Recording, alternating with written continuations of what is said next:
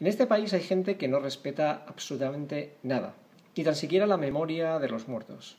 Apenas acaba de fallecer la actriz Lina Morgan y ya por Twitter circulan diversos tipos de, bromas, además de muy mal gusto.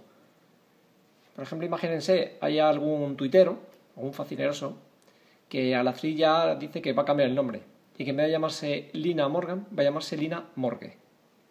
Hay que ser basura. Hay que ser tío asqueroso para hacer eso. Hay que tener, bueno, mejor dicho, no hay que tener entrañas. Claro, basándose en el anonimato, evidentemente.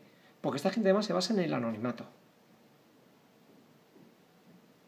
¿Por qué no haces burla con otras cosas, chato? Tú y todos los que yo he visto ya por Twitter. Porque es que hay que ser, hay que ser auténtico, hay que ser un auténticamente un auténtico descerebrado. Un asqueroso un patán de tres cuartos.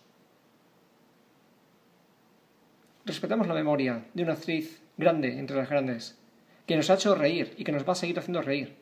Y si a alguien le molesta que televisión emita ahora cuatro películas de Lina Morgan, pues no vean televisión española, que hay muchas cadenas. Pero respeten a los que nos gusta Lina Morgan. O a quien... Hay un montón de gente a la que le gusta esta actriz y pasamos muy buenos ratos. Ya quisieran muchas de estas que hoy en día se creen algo ser simplemente la mitad de la mitad de lo que, es Lina, de lo que fue Lina Morgan. Eso sí que era una actriz. Eso sí que era una persona que sabía estar en las sobre las tablas. Que le da igual el cine que el teatro, que la televisión. Un pedazo de actriz. Y aquí cuatro patanes se creen que pueden hacer la gracia llamándola Lina Morgue. ¿Lina Morgue de qué? Patanes, que esos son los patanes.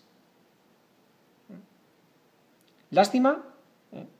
que no os cojan y os bloqueen la cuenta o que incluso os denuncien.